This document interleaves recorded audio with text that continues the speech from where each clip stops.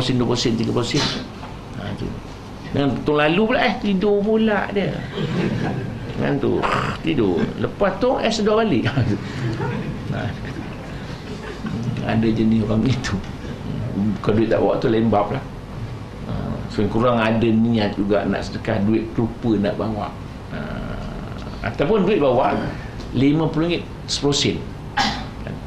Nak bubuh RM50, seminggu demam nak 10 sen tak padan tak tak ke ke dapat pahala tu. Pasal itulah yang ada buat sementara. Ha. dalam bab akhlak pula lain. Kita gaji 5 ribu. Gaji nak, nak naik lagi ni?